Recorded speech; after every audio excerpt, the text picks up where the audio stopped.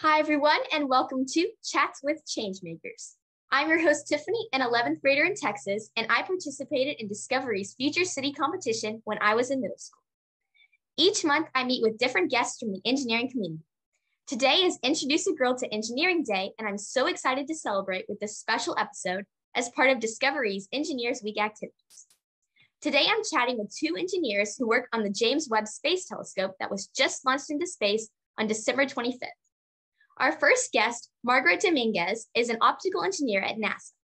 Hi, Margaret. It's great to have you on Chats with Changemakers. Thank you, Tiffany. It's great to be here.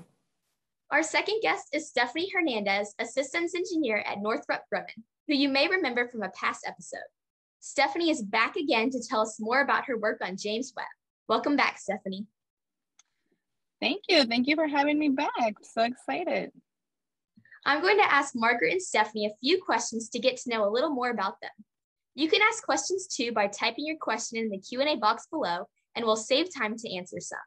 We also received some audience questions in advance and we'll ask those along the way. Also, be sure to stay tuned until the end of today's session when we will introduce a hands-on engineering challenge you can try at home or in school. So Margaret, let's start with you. I understand the James Webb Space Telescope is the world's largest, most powerful, and most complex space telescope ever built. Can you tell us about the Webb telescope and what it was designed to do? That's a great question, Tiffany, and you are correct. It is the largest astronomy telescope we've ever launched into space, we've ever sent this far. It's it's it's overcome so many challenges because it's so big, it's so cold, and it's so far away historically at NASA for the past decades, we've sent, you know, dozens of telescopes out into space, but we've never quite done something like what we've done with James Webb. And it stands out because it has a really large primary mirror. And that's like the biggest part of it that allows us to collect a lot of light. If you have a large mirror, um, it's going to be able to collect much more light than, for instance, Hubble, that has about a third of the um, the diameter of the mirror of James Webb. That's going to be really big, and it's also infrared. In our, our uh, well-known Hubble telescope that works in the visible light of the spectrum in the ultraviolet light of the spectrum. And we hear these words a lot because that's something visible light is something that we can visibly see with our eyes, but we know that other radiation exists, right? We know that ultraviolet uh, radiation exists. We're always concerned about like uh, putting sunblock so we don't get any UV light into our skin because it can cause skin damage. We know that infrared light exists, which is also warm. And then there's X-ray, gamma ray, all these other types of radiations that our eyes are not able to see. James Webb is able to see infrared light. And because it's going to be so far away and it has mirrors that are specially cold, coded for infrared light, it'll be able to collect light that other telescopes have not been able to do that will allow us to look back in time 13.5 million years ago, which is really exciting. Wow, that's so cool that it can see different parts of the spectrum that we can't even see with our own eyes. Yes. So, could you give me a brief overview of this project? What was the timeline from the concept to its launch into space on December 25th? That's a great question. And I wonder if some people have heard a little bit about James Webb because we've had a really long history of James Webb. Actually, the starting of James Webb started like 30 years ago, which is, you know, almost as old as I am, which means it's taken a really long time. And it's not too surprising because a lot of these really big flagship NASA missions take a long time because they're really costly. They're really complicated. So we also don't want to be rushing through the process. And they're the result of international collaboration. NASA cannot do this on its own.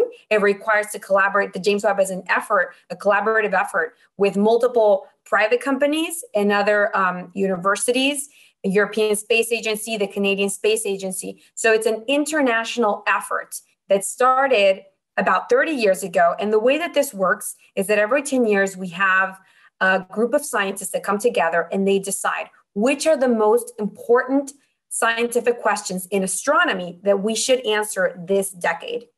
James Webb was the winner of the Astronomy Decadal Survey in the year 2000. And now, 22 years later, we're finally able to launch it because it's such a big telescope that has overcome so many technical challenges, we've had to take a little bit longer to be able to launch.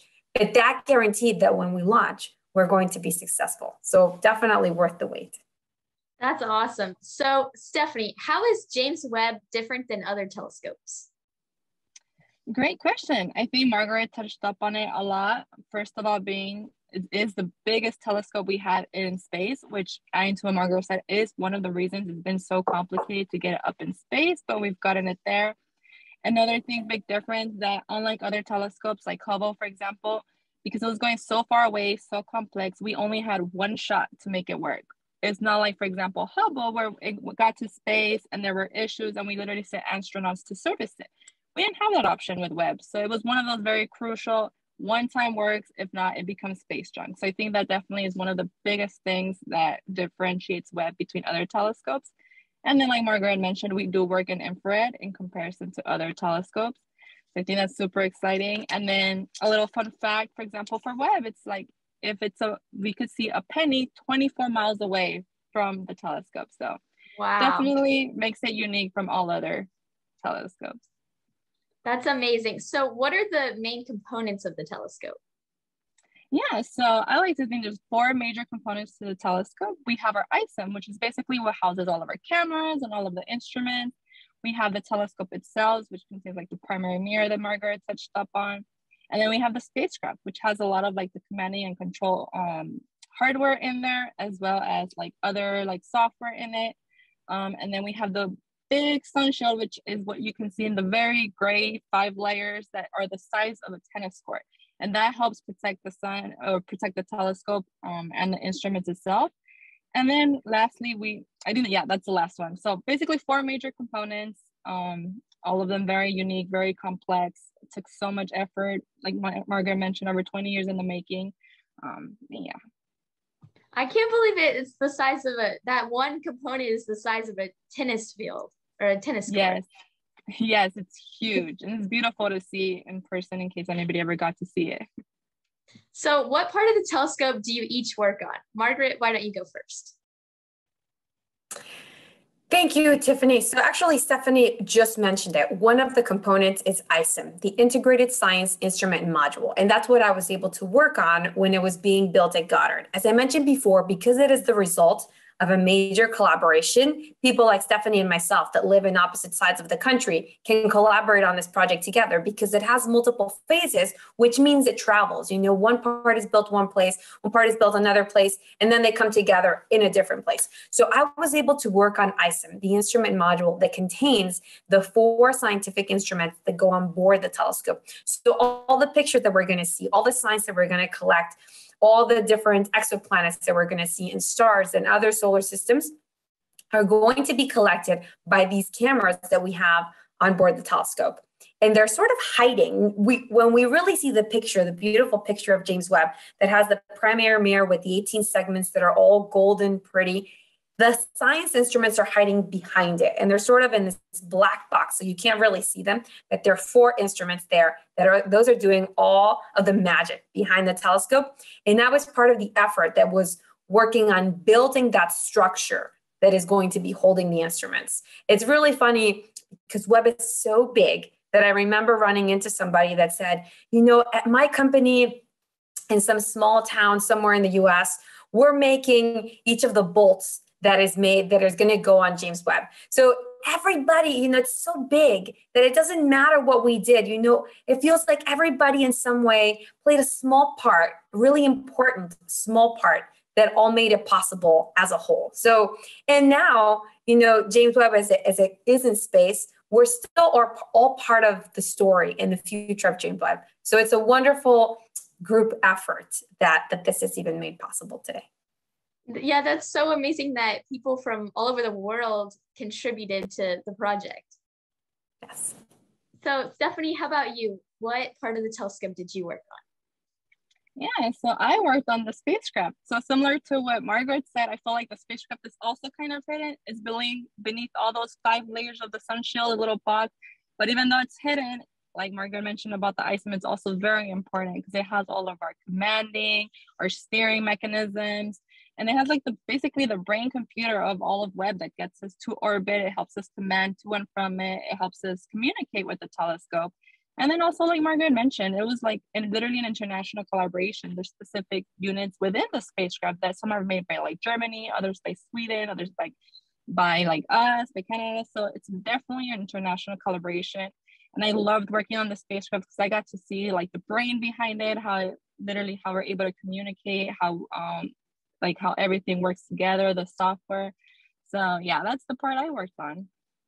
That's so cool. So you mentioned both of you mentioned the like international collaboration. So Stephanie, what types of engineers did you work on while designing that?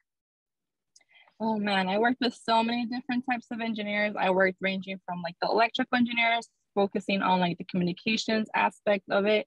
I worked with software engineers, making all of the code to make sure everything worked correctly. I worked with test engineers, many different types of test engineers that took um, the role of making sure everything worked as planned. And again, since we had one shot to make it work, the test engineers were responsible for making sure that, yeah, it worked on the ground, it should work in space.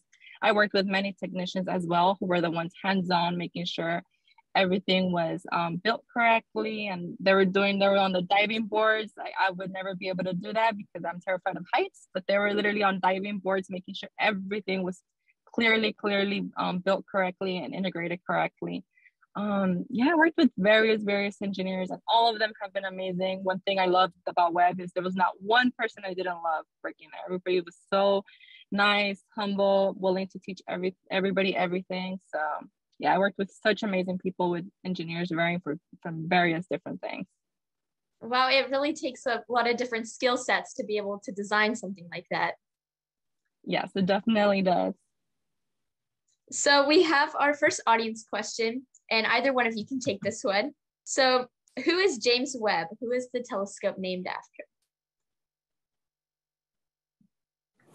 I can take a stab at it. So he was a NASA administrator. So, um, and that's what we call like the NASA um, main director. So NASA is a really big agency. We have many different centers all over the US. You know, there's a really popular center like in Houston. That's the one that we get in all the Hollywood movies. NASA, we have a problem. Houston, we have a problem.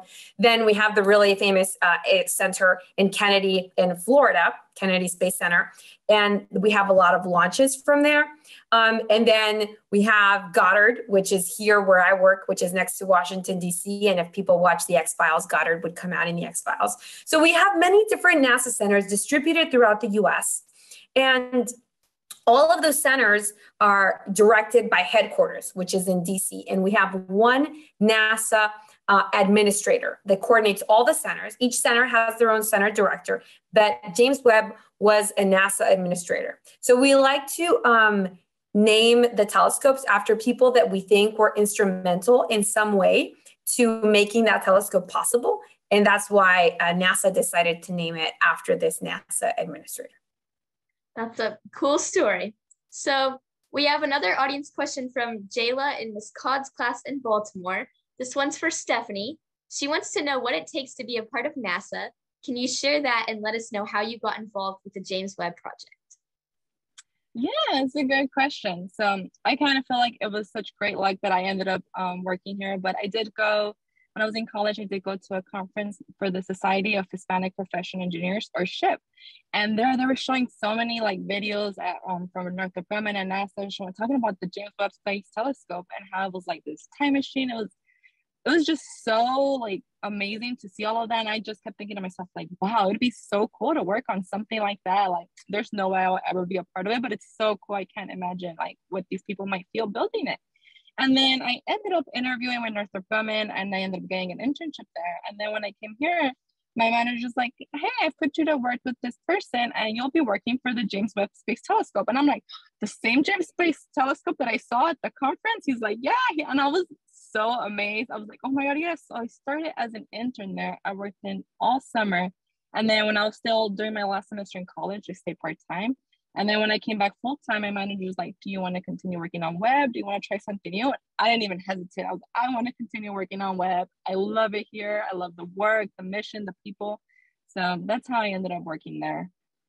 That's awesome. So, what about you, Margaret? How did you uh, get involved with this project? It's awesome how Stephanie was mentioning her story because I feel like a lot of us have a similar story. I also started as a summer intern I was studying my undergraduate degree in Mexico, where I was born and raised. And I had the opportunity to come do a summer internship at Goddard, where I'm working now, one of these NASA centers. And I was placed in the optics branch. Um, I didn't know that people could become optical engineers. Um, that's what I am now, but that's not what I knew that people could do. And um, and of course, that was during some of the development for James Webb. And it was all hands on deck. Whomever would come in, this is something that they start working on. And like Stephanie was mentioning, it really has been wonderful because everybody that's worked on Webb has been really excited because we know what a flagship mission this is, that we're just, we just want to be part of history, right? We know that Webb is going to, um, similar to Hubble, that have really revolutionized our understanding of the expanding universe. We know that Webb is going to do something similar. So all of us have been really excited to play even a tiny role in making Webb possible. That's really cool the way that you both got connected with this project. So this one is an audience question from Lauren, and either one of you can go first. Um, Lauren is interested in seeing each of your perspectives on what were the biggest engineering challenges in building the telescope. I can start off. Um, I think definitely, like I mentioned, one of the biggest challenges was definitely that whole little voice in the back of your mind always saying like you have one shot to make it work like this is it like there's no no going back after this i think definitely that was one of the bigger challenges making endless testing endless analyses yeah, I think for me personally, that was what for me was the biggest challenge. Margaret, do you have anything else that was challenging on your end? I mean, like you said, Stephanie, there's so many things that were difficult about Webb, right? So um, even even financial, and people probably heard about this. Telescopes that are this big, they cost a lot of money. They are the effort. They are the result of the effort of multiple efforts, right? Personnel efforts, financial efforts, you know, schedule efforts. So in order, we had some unexpected um, issues that came up with the telescope, and it was really important that we made sure because, like you said, we had one. This was like we had our window of when we had to launch it, so we had to launch it right. So if ever we saw that there was any issue, we we, we needed to make sure that we addressed it entirely. Now, one of the other things that I think was really important is that with Webb, when the idea of Webb was proposed, we needed to have some technology on the telescope that didn't exist. So, can you imagine technology being invented so that it goes on this telescope so that we can send it 1 million miles away from our planet?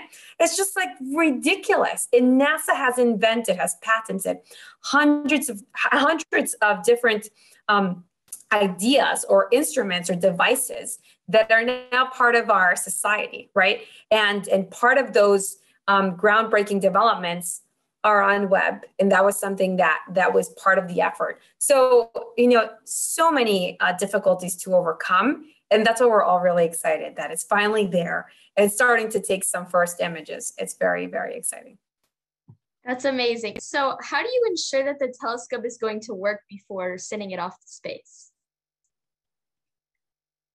I think that's like I mentioned, part of it has to do a lot with endless testing, endless analyses, making sure that we inspect everything correctly. Yeah, a lot of verification is done. We have over we have thousands of requirements on Webb because it's so big. So we need to make sure that everything works correctly. So making sure every requirement is met. If it's not, making sure that, okay, are we still okay even if we don't meet this requirement? So I think definitely working on the verification, endless testing, bringing in all the knowledgeable experts and people. I know there's people that have come back from retirement to work on Webb to ensure that, yeah, indeed we had mission success. So yeah, definitely contributed. Margaret, do you have anything else?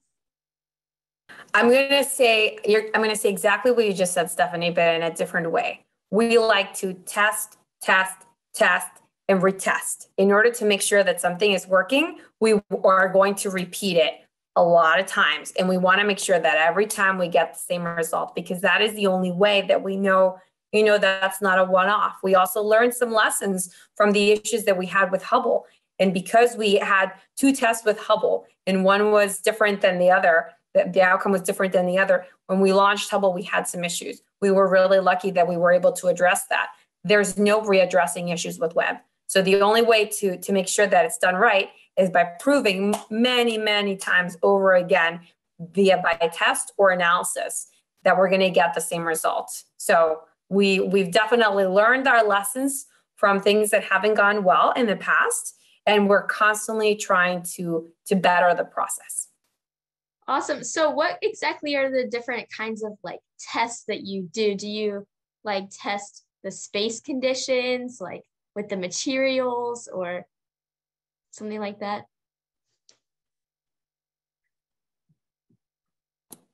I'll, I'll, I'll say something about that. So um, space environment is really different than regular environment here on Earth, right? And, and even when we send something to space, if it's going to be closer to the moon, it's going to encounter different conditions than if it's going to be closer to Pluto. The temperature is going to be different, the gravity is going to be different. So whenever we send something to space, we identify what type of conditions specifically that thing is going to encounter.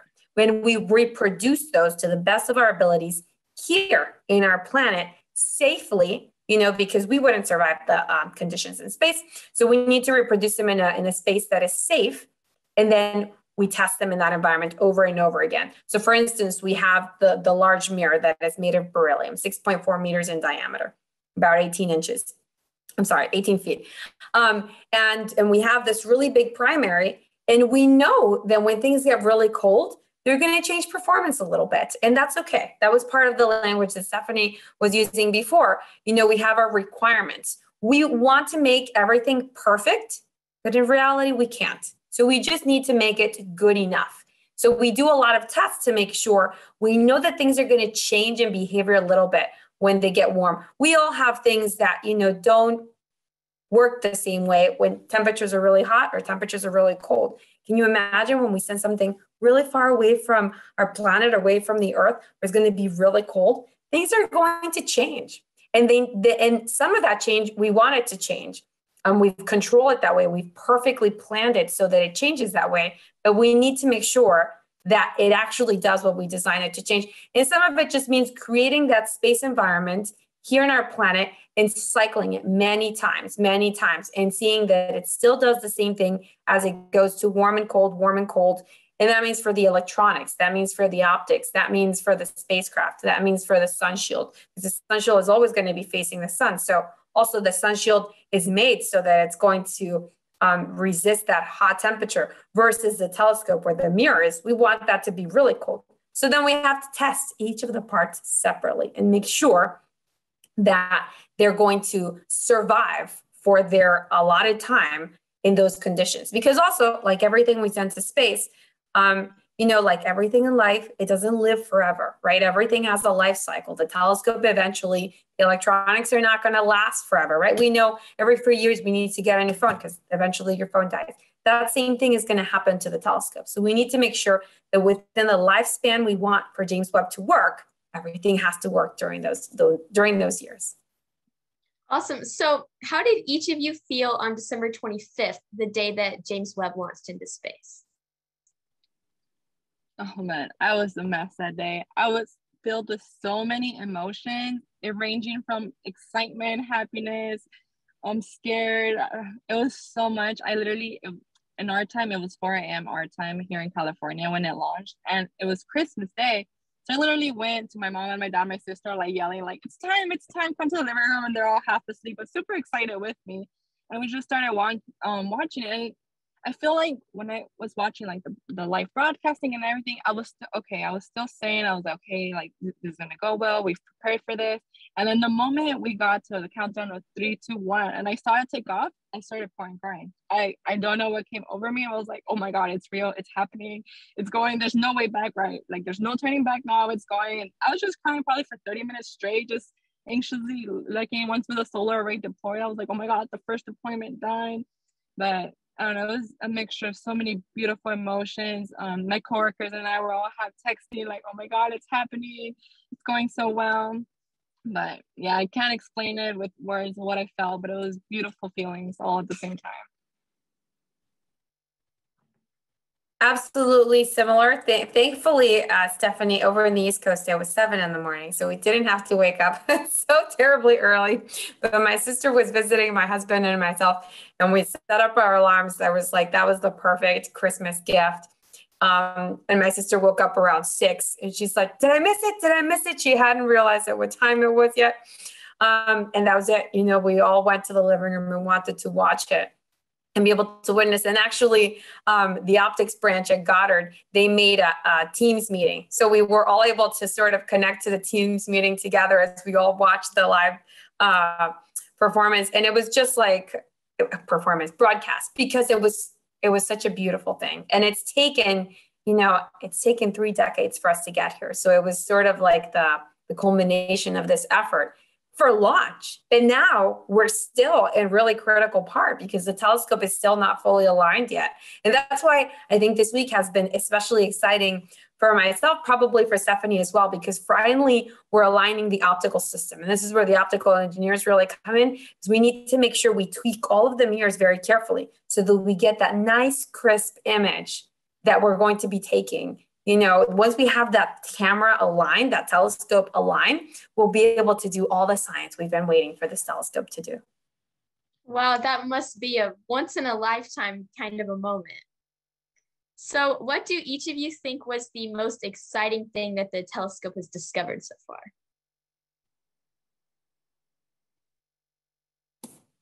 It hasn't been able to discover anything yet. So it's not ready to do discoveries yet. Only this week have we been able to start um, tweaking the alignment. So right now it's in the alignment stage.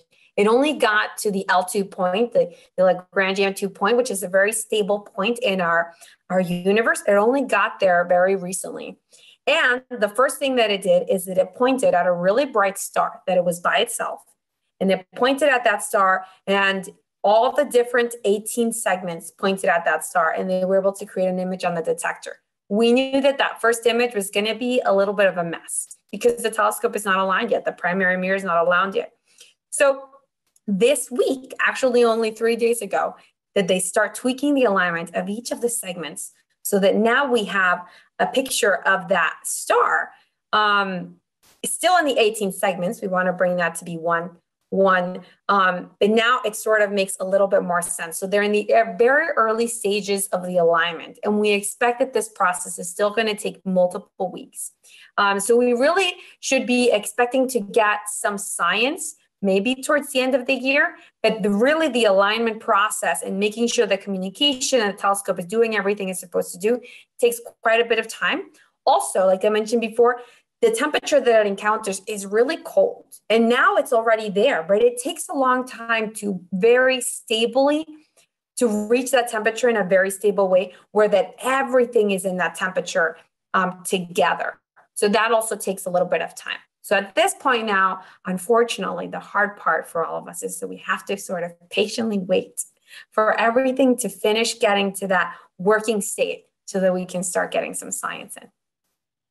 Yeah, to add to what Margaret said, like definitely I feel like the waiting game is the hardest of all. But even though Webb isn't starting to make any science discoveries yet, I think to me one of the amazing things it has done thus far is getting through our deployment phase.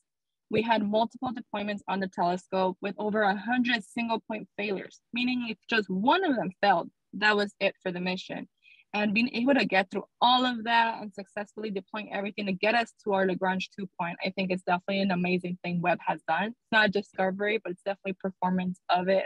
I, I think it's amazing. That's awesome. So forgot to shout out that question was from Miss Carter's class. And we also have another audience question. Miss Smith's fourth graders want to know if you will be able to see other planets. Yes, that is one of the objectives of, tel- of, of Webb. It's going to be looking at exoplanets. And exoplanets are planets potentially similar to our planet in the sense that they exist in a solar system that has the bright sun in the center and some of the planets orbiting around it and could potentially have water and therefore could potentially harbor life similar to our life. And that is like one of the fundamental questions that we're always asking as human beings. Are we alone in our universe? And James Webb is going to be able to help us study, identify, and study planets that could potentially be similar to ours to try to answer that question. That's an amazing capability. So, what's the farthest object that you can detect with this telescope? Stephanie, do you want to give that a go? Let me know. You can go ahead. I don't have a precise answer for that one. I think that's really challenging. And I have to say, um, you know, Stephanie and myself are not astronomers. And you know, we're working on this telescope that is a really cool telescope, and it is only possible because it is the combination, you know, of thousands of people of us working together with different disciplines. Um, but astronomers are the ones that really know all the science questions. So we I think Stephanie and I are doing our best trying to answer these things. The mostly we want to know just for ourselves, right? Because we think that this is really cool and we want to know. Um, the full disclosure, because we're not astronomers, we're not able to know, you know, some of the nitty gritty details of the science here. But James Webb will be able to look back in time. So when you can imagine uh, a star explodes in our universe, because that's just its natural life cycle, and it explodes, um, there's a lot of light that's going to come out of that explosion. And as light travels to through our universe, and we know that our universe is expanding, that light is going to change in wavelength. It's sort of going to stretch. And that's what we, we call red shifting. So because that, that visible and ultraviolet light is going to stretch through our expanding universe, by the time it gets all the way to James Webb, it's going to become infrared light, which means that it's going to allow us to look back in time. 13 million years back in time to some of these earlier um, um, origins of our universe. We know that our universe is really old. So, um, in order for our universe to take place, a lot of these explosions had to happen. And by the time the light gets to James Webb, it'll allow us to look back in time into the early um, bursts of light that we had in our universe. So it's it's really exciting because we don't have a telescope like this that will allow us to see this back in time with this size of a primary mirror that is able to look in the infrared. These are just that's why we're so excited. That's why this is so freaking exciting. We've never been able to get here before. So um, the key is now being able to get the telescope aligned get it working, and start pointing at different parts of the universe that allow us to see um, these this early light to help us understand, to help us better understand our evolving universe. You know, the universe is so massive. Um, 95% is dark energy and dark matter that we don't quite really know what this is. So, can you imagine that only 5% of our universe is something that we can actually see? Whatever you see in the night sky, you know, the our, our sun, our planets, our solar system, other galaxies nearby, all of their solar systems, all the stars that you can see. That's only 5% of our universe. The rest of it is this dark something that we don't know what it is. And James Webb is going to help us understand what that is. It's really exciting. That's amazing. And I had no idea that you can look back so far in time based on, like you were talking about, the, the stars and the light. So we have another audience question. Lauren wants to know about why gold was used in the mirror and why is the mirror the shape it is. Margaret, sorry, you're gonna have to take this one. I was so focused.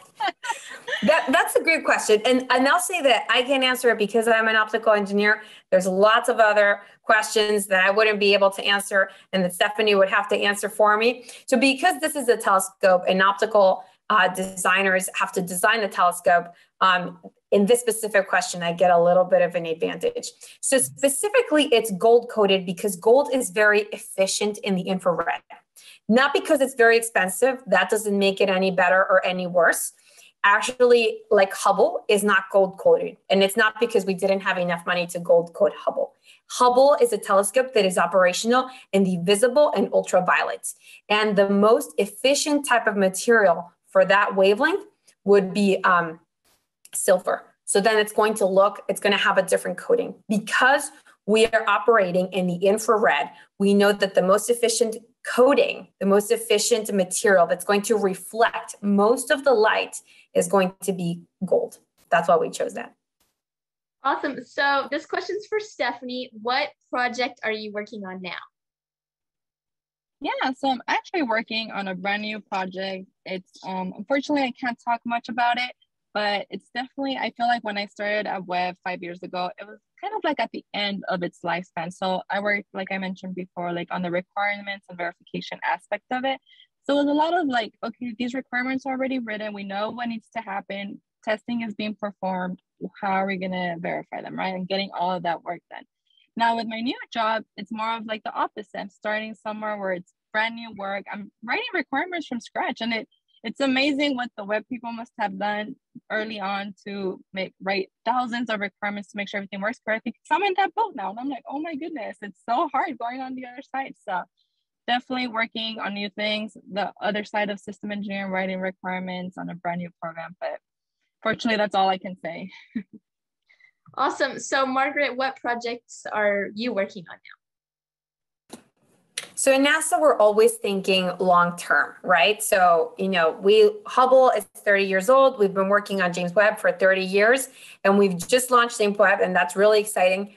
But what's next? We need to be working on what the, the next 30 years of NASA projects are going to be like. So um, I talked about the decadal survey, right? Every 10 years, we evaluate what are the what are the most important astronomy questions that we have to answer for this decade.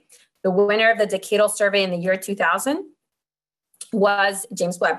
The winner of the decadal survey from the year 2010 is the Nancy Grace Roman Space Telescope. And that's what I'm working on now. So I'm working on the successor for James Webb. And what we're hoping with the successor, which is called Roman, is that it's going to be working with Webb. So we're planning to launch it within the next decade. It's going to be a little bit smaller than Webb. So the size of Hubble is about the size of a school bus. James Webb fits on a tennis court. Roman will be similar to Hubble. It'll be about the size of a school of a school bus but unlike, unlike Hubble, that is only about 350 miles away from our planet, James Webb is 1 million miles away. Roman is also going to be 1 million miles away in the infrared working with James Webb.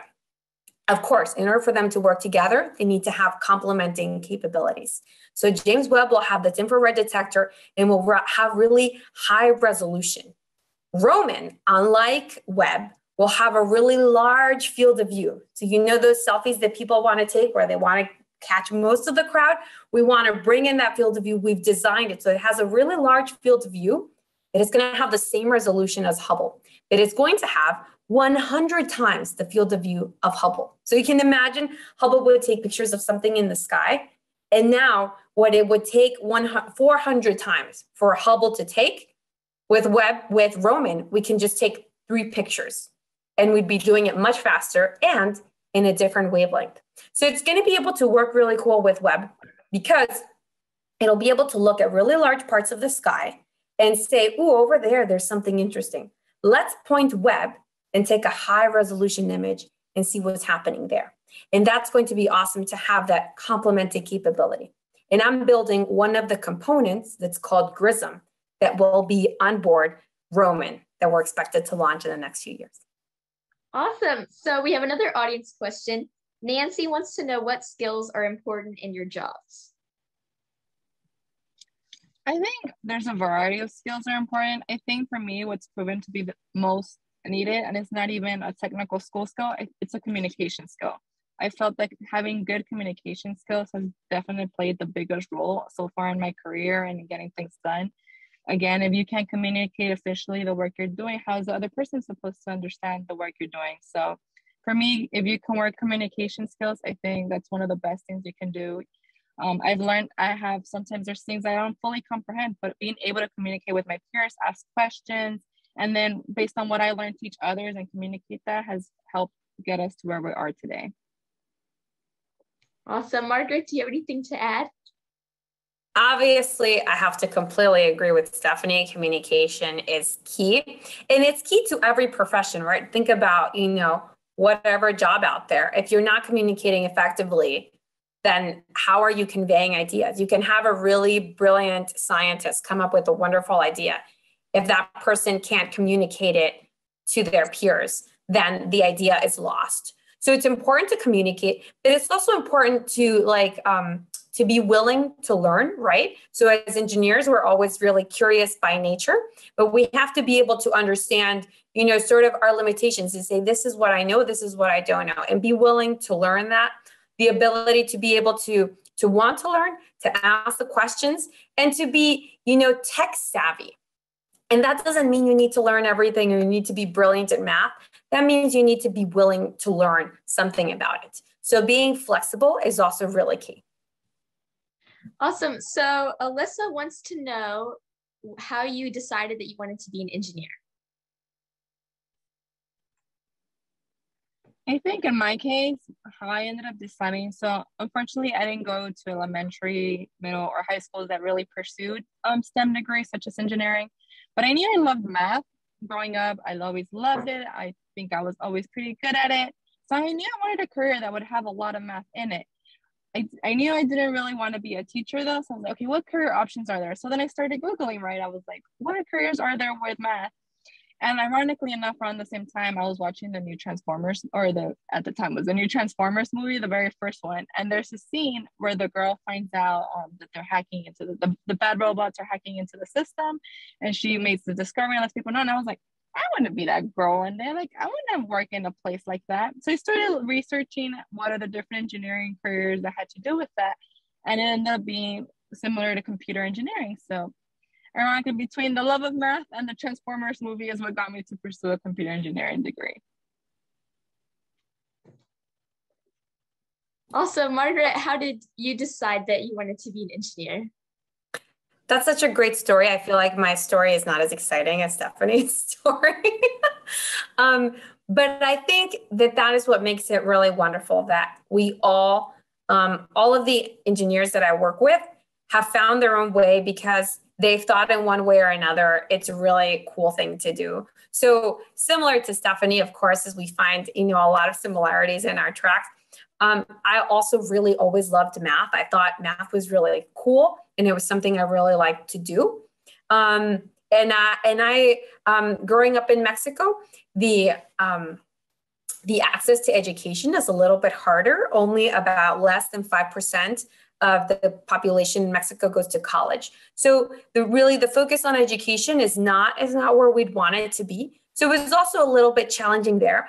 Um, but I had uh, really supportive parents that you know believed that even though they weren't sure where my passion for science and math was going to land me, they were going to support me. And and when I decided to study physics, um, they thought that eventually that would open a lot of doors for me and I didn't know that I wanted to be an engineer. It wasn't until I got to my internship at NASA and I learned what optical engineers were doing that I was like, I want to be an optical engineer. That's so amazing. Each of you had such different stories and y'all both ended up in such cool careers. So we have another audience question. Sarah Nosi's class wants to know what your favorite thing about your career is. I think in my case, my the favorite thing about my career is being able to work with people. I'm a very big people person, and I can't imagine myself in a job where it's just me by myself in a room, not working with anyone. So I think for me, definitely engineering, like I mentioned before, a lot of communication and working with so many different people, and I think that's the part I personally love the most. Interacting with people, learning about people, and then sometimes you even have days where, for example, I was a test engineer at some point when I was working on Webb, and there were times that we had to work the night shift, which is basically getting here like at 8 p.m. all the way to 6 a.m. And you bond during those times. So I think to me, working around people and always having them around me to teach me new things I've never known before, I think is my favorite part about my job.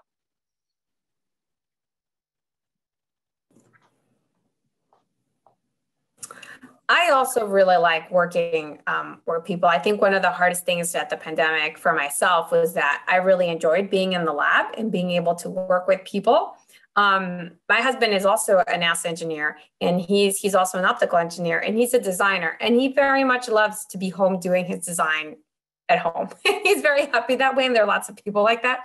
But I really like being in the lab and and the ability to sort of put something together and understand how we make it and build it and test it and test what doesn't work, right? So a lot of the important things that we do at NASA in the process is identify how to do something and also how not to do something, right? Some of the questions don't always have the answer that we expect, and that is okay. That's what helps us narrow down the process of what we should be doing.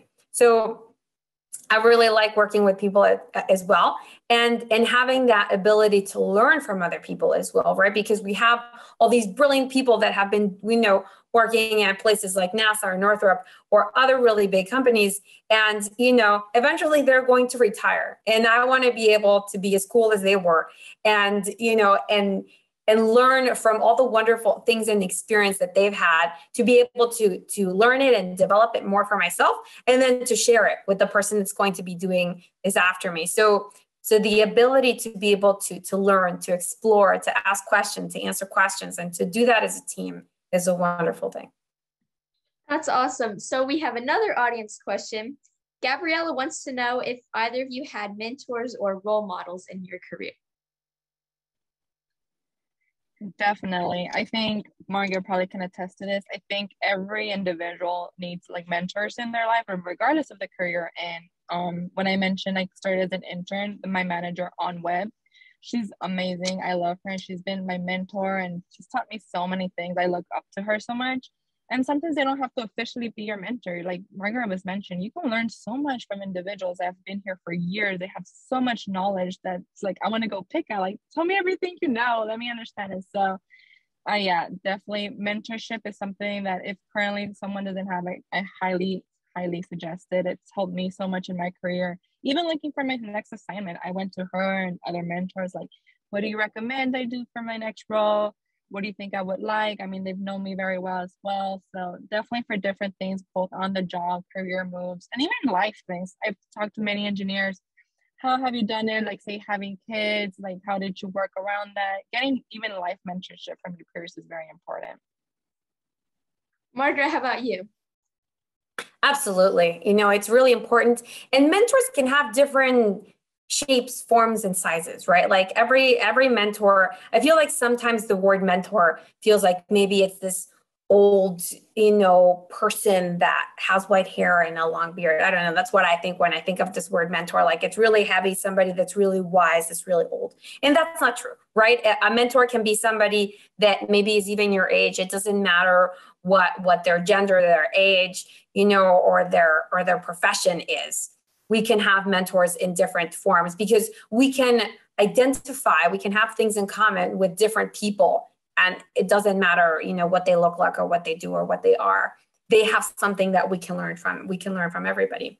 Um, so i think identifying somebody that can help you achieve what you want to do and sometimes the help comes in the way of you just need to vent for 10 minutes, right? Like it's just been an awful day and you just need to be able to somebody that can hear you um, or allow you to hear yourself is really important because ultimately we can never get anywhere by ourselves. You know, both Stephanie and myself, I'm sure Stephanie can, can agree with this. You know, we're only here because it's the result of multiple people supporting us throughout the way. And that can be friends, family, um, mentors. You know, we we cannot get here by ourselves. So it's important for us to have a network.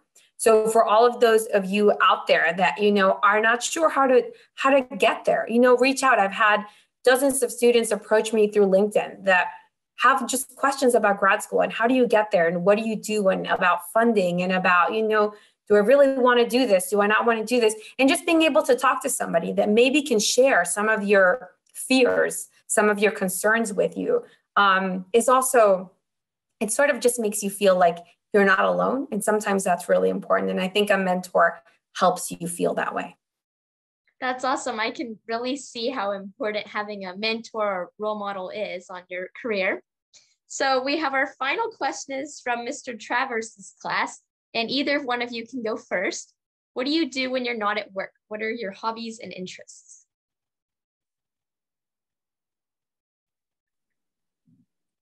Um, yeah, I, can go first. Um, sometimes I feel like I don't have a life outside of work, but when I do take the time to do things other than just sleep all day, I do love to go hiking. It's something me and my fiance love to do. Just getting outdoors. I feel like we're most of the time indoors working, so definitely getting some sun, hiking, um, going for runs, walks. That's definitely what I like to do with my hobbies. And then the, obviously spending time with friends and family. I think that's that's literally what I spend my weekends doing. Margaret, how about you? I completely agree getting out. My husband and I try to go for daily walks, even though when I'm running tests, like what Stephanie was saying, you know, sleeping in the lab, it's not sleeping, but you know, you're there like all night. It feels like you should be sleeping. Um, you know, when I'm running tests like that, which I, I'm actually running one of those right now, and I was in the lab all day yesterday, and I'll be there tomorrow. And I'm really happy I was able to be here today. Um, you know, I'm not able to to do these daily walks, but I really like to do that, even if we just you know go around the block, just get outside and get some air. I'm also a jazzercise instructor, which is a dance fitness activity. I find that doing exercise in any way is really helpful for me to be able to sleep well, for me to feel good, you know, mentally, physically. So I, I really like to do that. And I love to travel. My family is lives in different countries, which is perfect because I love to be able to travel. So whenever it's it's safe to do so, I like to be able to visit my family and travel around a little bit. That all sounds really fun.